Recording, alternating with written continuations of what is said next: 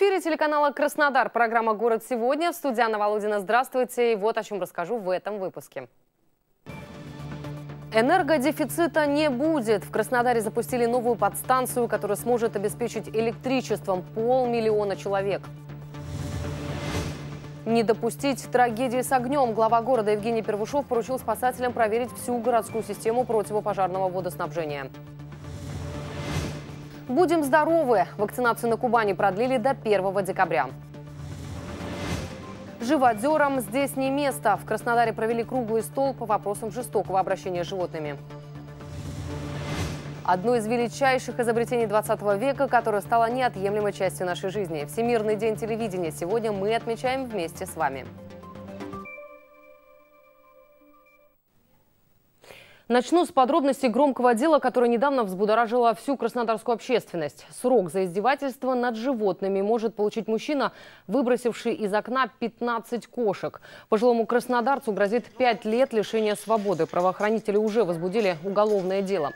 Напомню, 8 ноября с четвертого этажа житель дома по улице Ставропольской начал выбрасывать из своей квартиры животных на глазах у прохожих лицо, которое, возможно, э, причастно, ну, оно опрошено, это мужчина в возрасте, э, он категорически отрицает свою вину, поясняет, что он якобы выпустил данных животных через дверь, однако данные показания противоречат э, свидетельским показаниям непосредственно матери с детьми, которые находились на детской площадке, площадке в этот момент и видели, как мужчина находился на балконе. Сейчас пострадавших животных, некоторые из которых так и останутся калеками, приютили зоозащитники и ветеринары. Отсутствие воспитания, чувство заботы о тех, кого приручил или все-таки безнаказанность. Что толкает человека на подобные поступки? Обсудим завтра в прямом эфире программы «Новичок-шоу» на нашем канале в 15.15. Обязательно присоединяйтесь к телефонному разговору по телефону 8 938 412 15 48. И еще одна важная новость. Погуляли и хватит. Двоих 14-летних мальчиков и девочку, сбежавших из Рождественского детского дома накануне, нашли. Как сообщили в Краевом следственном управлении Следственного комитета, подростки целые и невредимы. Вчера утром друзья отправились на учебу в другую школу на автобусе, а их пропажа была обнаружена уже после уроков. Беглецов не досчитались на обратном пути в детский дом. Первыми разыскали парней в Красунском округе. Информация об обнаружении девочки появилась после обеда, после того, как ребята нашлись и их отправили к следователю для беседы. Наш ответ энергодефициту. Сегодня в Краснодаре произведен пуск новой подстанции «Восточная промзона». Ее мощность равна половине той энергии, которую кубанская столица потребляет на сегодняшний день. Так что новый объект задел на будущее. Обо всем подробнее в сюжете. Смотрим. Энергодефицита не будет. В Краснодаре запустили новую подстанцию, которая сможет обеспечить электричеством полмиллиона человек. Объект находится в восточной промзоне города.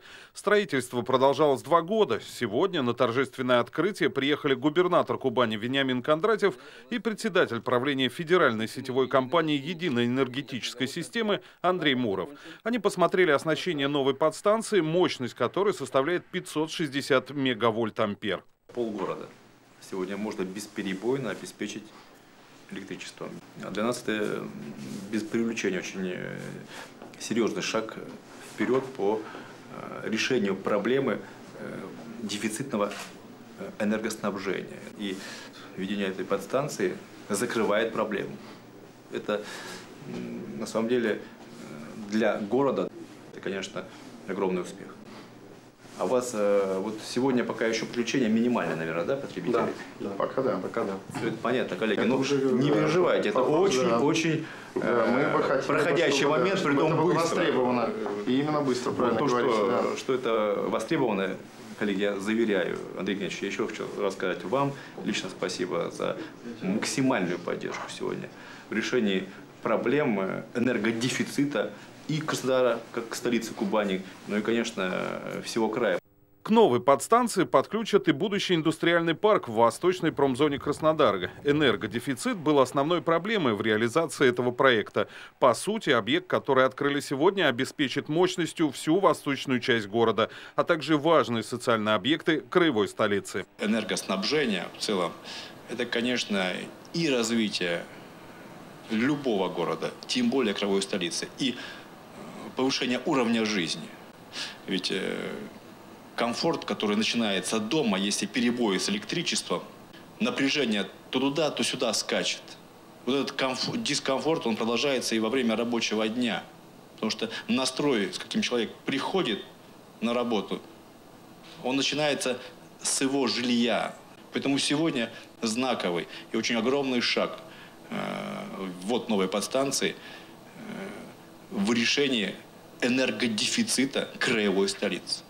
Мы решаем проблему надежного, бесперебойного энергоснабжения для 500 тысяч жителей Краснодара. Более 200 э, э, социально значимых объектов, в том числе и краевая клиническая больница имени Чаповского. С 18 по 20 год, включая текущий 18 мы предполагаем по нашей инвестиционной программе э, вложить порядка 4 миллиардов за 2018 год, а всего за три года порядка 9,4 миллиарда рублей. Это говорит о том, что развитие продолжается. Это не только строительство новых объектов, но и, безусловно, реконструкция существующих объектов. Это уже вторая за полгода крупная подстанция, которую открыли в Краснодарском крае. Сегодня же глава региона и руководитель федеральной сетевой компании подписали соглашение о строительстве нового объекта. Он должен покрыть растущие потребности в электричестве в западной части Краснодара. Ввиду того, что данная территория имеет большую перспективу развития, конечно же, это задаст э, нам сегодня возможность развивать территорию, потому что тот потенциал и тот запас мощности, который сегодня создан и имеется, он позволит сегодня здесь качественно надежно, то есть эту проблему решать. Заместитель главы Краснодара отметил, что такой энергообъект в городе построен с нуля впервые за последние 10 лет. По мощности и уровню оснащения это первая подстанция такого класса в Краснодаре. Не допустить трагедии с огнем. Чтобы в домах краснодарцев не возникало пожаров, глава города Евгений Первушов поручил спасателям проверить всю городскую систему противопожарного водоснабжения в преддверии холодов. Опасность в большей степени подстерегает жителей садовых товариществ и сельских населенных пунктов. Специалисты на поручение отреагировали моментально и уже провели большую работу коем случае не... Проведены обследования 205 дачных некоммерческих товариществ, гидрантов 58, водонапорных башен 17, пожарных водоемов 11 и подъезды к реке Кубань 4, это излучено Кубани. Службой спасения проведены проверки источников водоснабжения, расположенных в сельских населенных пунктах. Проверен 601 пожарный гидрант. Еще в октябре краевые пожарные службы и городская служба спасения Краснодара проверили все 2938 пожарных гидрантов в краевой столице. Около 200 из них оказались неисправными и были направлены в эксплуатирующие организации для устранения неполадок. С начала года в Краснодаре эксперты уже отремонтировали 665 гидрантов. Построено и оборудовано еще 309 новых. То есть станицы и хутора могут спать спокойно. Но о человеческом факторе забывать не стоит, поскольку именно он чаще всего становится причиной пожара. Особенно будьте осторожны с печками и другими отопительными приборами. Вакцинацию на Кубани продлили до 1 декабря. Всего в этом году прививку от гриппа получат около 3 миллионов жителей края. Больше 90% уже сделали укол здоровья. Половина из них, кстати, школьники. Об этом говорили на селекторном совещании в краевой администрации. Провела его Анна Менькова. Как отметила вице-губернатор, были и учащиеся, которые отказались от профилактических инъекций. Некоторые по медицинским причинам, но в основном из-за запрета родителей. Лучше всего прививочная кампания проходит в Северском, Кореновском и Красноармейском районах. Там педагоги провели разъяснительную работу, и в итоге у муниципалитетов стопроцентные результаты. Однако не везде вакцинация идет полным ходом. То, что сегодня в школах допущены так, такое количество отказов, условно из тысячи детей привито 300, 600 отказов и только там 20 медотводов, это очень странная позиция. Так не может быть. Значит, вы допустили, что родители у вас все подряд пишут отказы от прививок. Это позиция школы, это позиция директора. Работа в некоторых учебных заведениях проведена очень плохо, при том, что у других от плана подчас вакцинация достигает и 100%. Это значит, что директор отдельной школы может разговаривать и находит общий язык с родителями. Директор другой школы этого сделать по каким-то причинам не может. Чтобы избежать эпидемии гриппа, нам необходимо вакцинировать 80% минимум детей.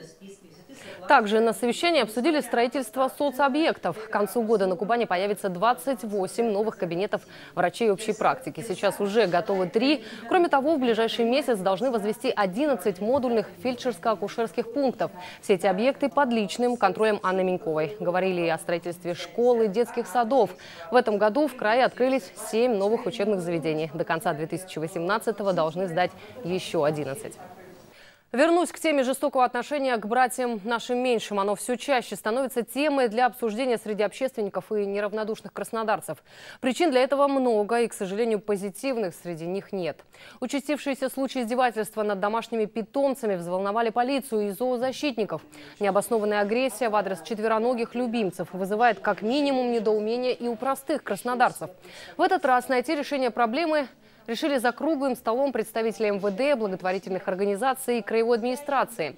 Только за последние три года в Краснодаре возбуждено 10 уголовных дел по статье 245 «Жестокое обращение с животными».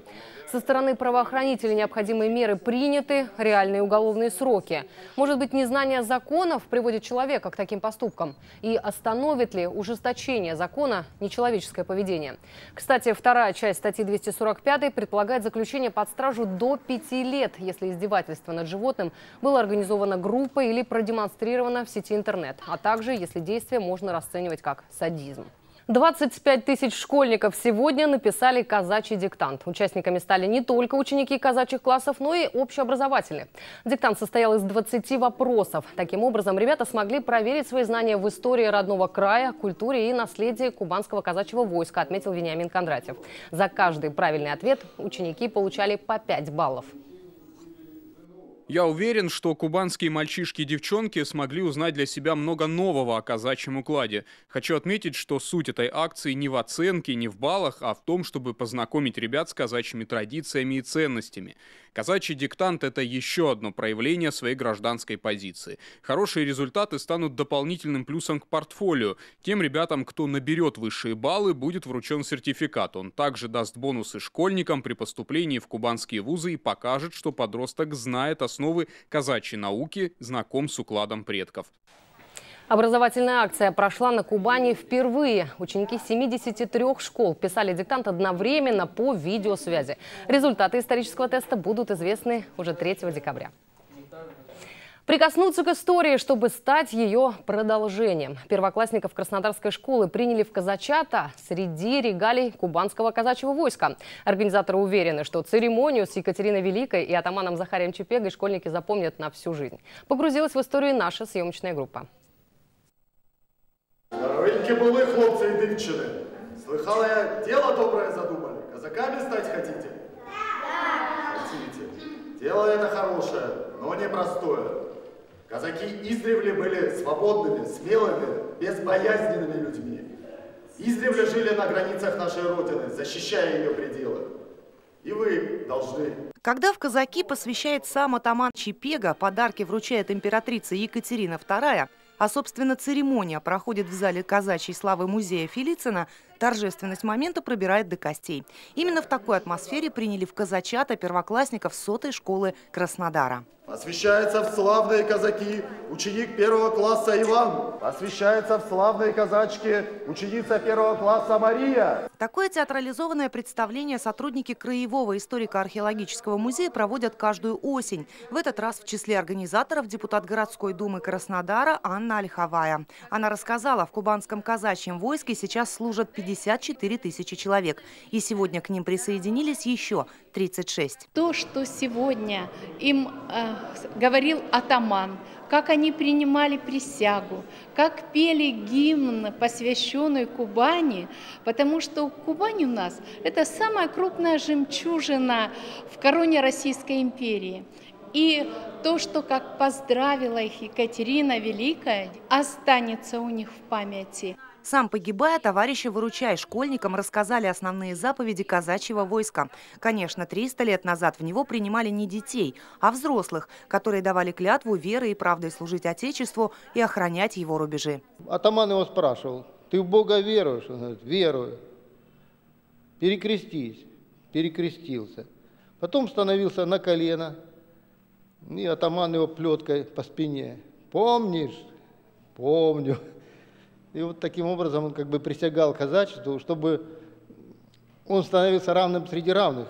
Чтобы малыши лучше разбирались в традициях и научились их чтить, депутат Анна Ольховая вручила им книги об истории и культуре казачества. Пожелала учиться только на хорошо и отлично, уважать старших и, конечно, беречь честь с молоду, как и положено настоящим казакам.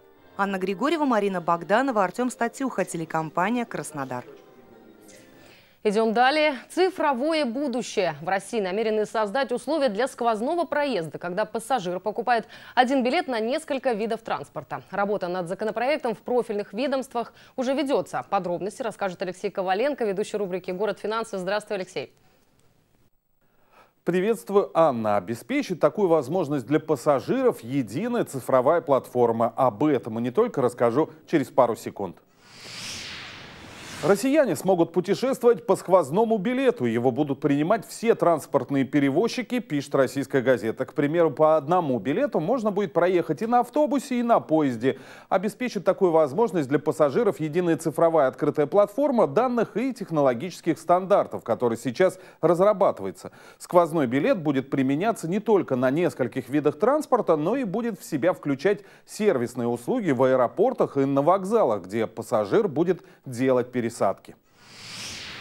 Большинство россиян, проживающих в городах-миллионниках, откладывают деньги, чтобы отдохнуть и посмотреть мир, а также для создания подушки безопасности, следует из исследования виза о финансовых привычках россиян.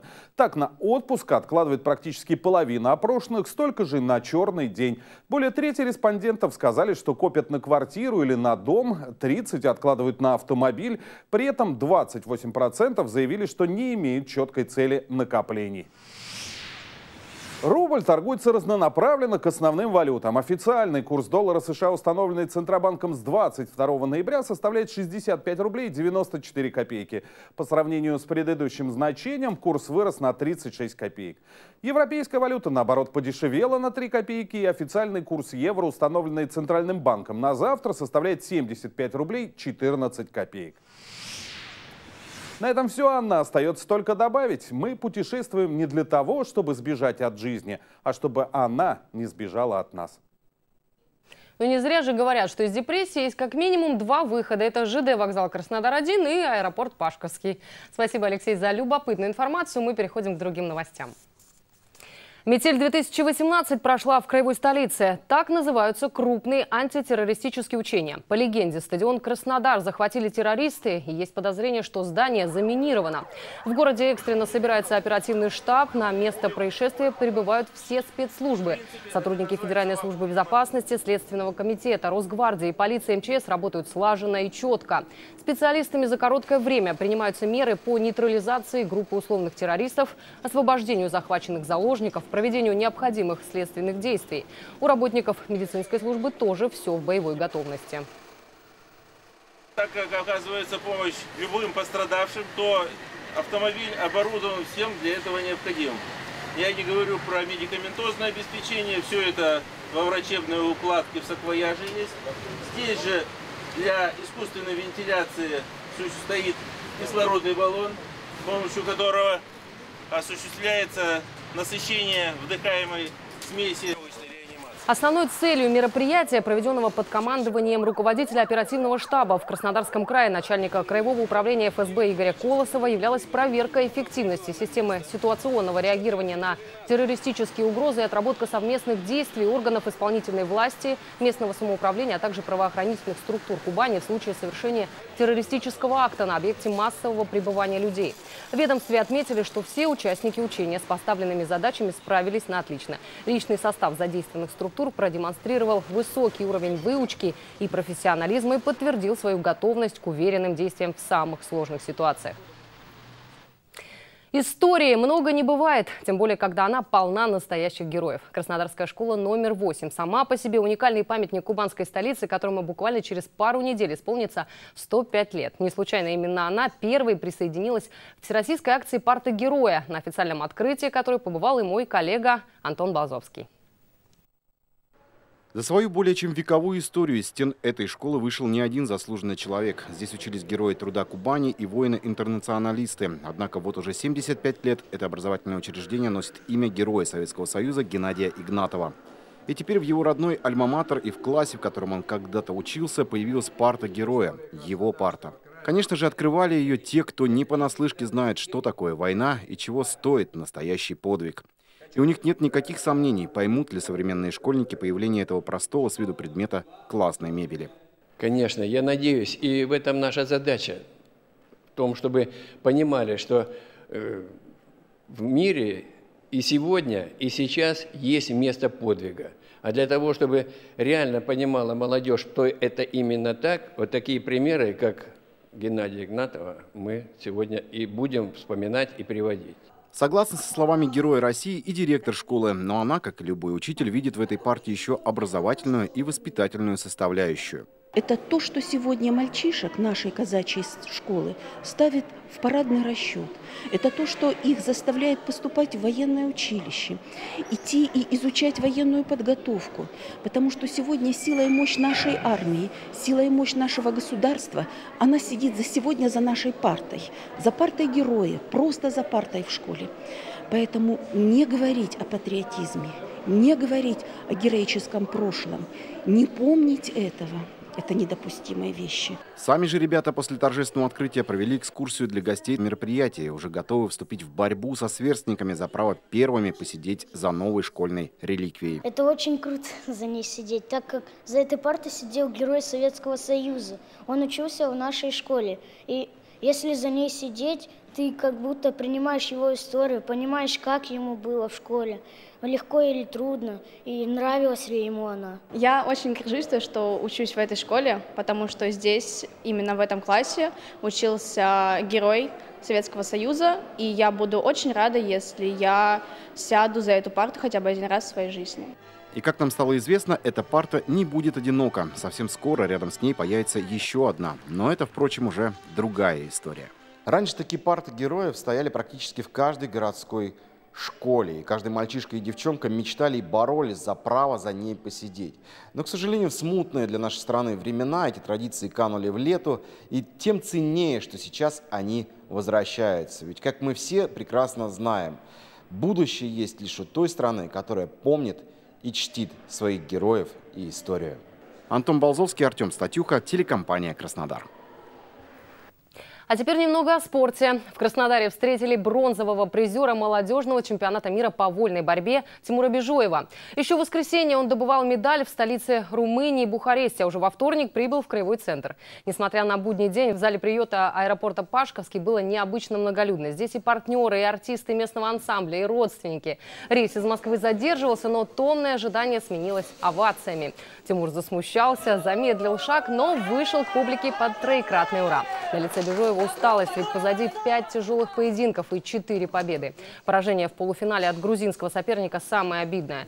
Боец считает его главным разочарованием на турнире. Согласен с ним и отец. Он первый и поздравил, и пожурил сына. Тимур говорит, что времени на отдых нет. После двух-трех дней отдыха опять тренировки. Отдыхать времени нет особо. Сейчас э, конец января. Да, на конец января сейчас будет на чемпионат Европы отбор. Буду готовиться. В таком режиме Тимур занимается уже не первый год. С таким подходом золотая медаль, за которой Бежоев ехал в Бухарест, остается делом времени, ближайшего времени. Одно из величайших изобретений 20 века, которое стало неотъемлемой частью нашей жизни. Всемирный день телевидения сегодня мы отмечаем вместе с вами. Весь день МТРК «Краснодар» принимает поздравления, встречает гостей, конечно, делится опытом и хорошим настроением с нашими зрителями, с некоторыми даже лично. Кстати, свой профессиональный праздник мы решили совместить с еще одним Всемирным днем приветствий. Как это было, смотрите прямо сейчас. Первым делом юные телевизионщики попадают в студию, с которой начинается вся история нашей телекомпании. 20 лет назад именно здесь снимали практически все телепроекты. Менялись лишь декорации и действующие лица. Сегодня территория телекомпании заметно увеличилась. Ее масштабы несколько удивили наших гостей. Я представляла, если честно, себе студию какую-то более маленькую. Оказалось, что она очень большая, и в одной студии могут сниматься сразу несколько программ, и могут э, ставиться несколько декораций. А второе, то, что я не знала, то, что какие сначала были камеры. Эти камеры, режиссерские пульты, софиты и микрофоны для сотрудников телерадиокомпании – обыденность, а школьникам – в диковинку. Детвора с нескрываемым интересом смотрела на аппаратуру, с которой когда-то работали журналисты. Теперь эти экспонаты хранятся в музее нашей телекомпании, а в студиях сегодня работают на новейшем цифровом оборудовании. Режиссер вот на этом большом мониторе, который поделен на несколько квадратов, видит все то, что видят камеры. Здесь за этим местом сидит звукорежиссер, он управляет микрофонами. Как они вообще в этом разбираются? Поднимаемся дальше, и вот она, святая святых телевидения, эфирная аппаратная. Именно отсюда выходят в эфир наши программы. Посторонним сюда вход воспрещен. Единственное исключение – экскурсии. Школьники узнали, как проходит вещание, поработали на камеру, а сотрудники канала рассказали о своих буднях и даже открыли свои профессиональные тайны. Юные гости, в свою очередь, не смогли скрыть эмоций. Есть такие звукорежиссерные пульты, если так можно сказать, вот они меня поистине удивили, потому что там каждую штуку вот это вот делать, подкручивать, и вот этому я прям очень сильно удивился. Я поразговаривал с звукорежиссером, он мне объяснил, что как и что за что отвечает. А, кого только не встретишь на кубанских дорогах. Бараны, и это мы. Конечно, не о водителях. Ой, я не могу. Дети, как известно, народ любопытный. Им до всего есть дело. А уж тем более им интересно, как делаются краснодарские новости. Очень э, интересна была экскурсия. Очень интересно было узнать о фактах э, о телеканале, о том, как э, все начиналось, о том, что снималось, где хранилось. Но, конечно, самое интересное для журналиста – это практика. И с самого начала не чувствовалось волнения, пока режиссер не сказал в кадре. Вот тогда уже чуть-чуть ноги задрожали, но все-таки получилось унять волнение, получилось э, читать текст более-менее без запинок, получалось смотреть в камеру. Очень-очень э, интересный э, быт у журналистов. Захочет ли кто-то из нынешних маленьких гостей связать в дальнейшем свою жизнь с журналистикой, покажет время. А желание и любопытство у них точно есть. Сегодня необычный день, и мы ото всех э, принимаем поздравления. И вот очередная порция поздравлений от наших юных коллег. С днем телевидения! МТК Краснодар! Смотрите город сегодня! Многие мечтают работать на телевидении, и сегодня мы решили исполнить эту мечту, подарить краснодарцам возможность оказаться в кадре и передать свой привет с голубых экранов. Я тебе сейчас дам микрофон, ты можешь смотреть на вот эту камеру и передавать свой привет, хорошо? Можешь даже представиться. Всем привет, меня зовут Софья Жуковская. Я передаю привет огромный родным и близким. Люблю свой город Краснодар и желаю удачного всем дня. Со мной рядом находится моя жена, моя дочь с зятем, поэтому им огромный привет. Ну и как бы не банально это звучало, своим родителям. Передаю привет Краснодару и всем, кто смотрит. Я обожаю этот город. Даниил Клушин, тебе особенный привет. Давно не виделись. Куличков Кирилл, тоже привет. Мама, папа, все, кто смотрит, всем привет. Передаю привет э, машиностроительному колледжу, то бишь КМСК, он в моем сердечке. Э, вот. Э, ну, добрый день. Сегодня день телевидения. Я хотела бы поздравить всех работников телевидения, поблагодарить их за хорошую работу, за хорошие передачи, интересные, познавательные для детей. И хочу передать привет своей родственнице Кате. Надеюсь, она меня услышит. Ее поздравляю, желаю ей больших-больших успехов и продвижения по карьерной лестнице. А, я хочу передать привет всем своим близким, всем своим друзьям, а, родственникам. Хочу пожелать им здоровья, счастья, чтобы у них в жизни все было хорошо, чтобы всегда все получалось. Я их люблю. Приветы передавали как личные, так и коллективные. А еще традиционно признавались в любви городу. Краснодар, привет, мой любимый город. Люблю тебя безумно. Передаю привет всем краснодарцам и жителям города, и гостям города. И желаю всем счастья и прекрасной зимы, и любви всем, и всему моему любимому городу. А, я живу в этом городе 19 лет. Он очень красивый, в нем много возможностей. Можно поступить в любой университет, а, погулять, провести время, найти общих знакомых. Так что приезжайте все в Краснодар.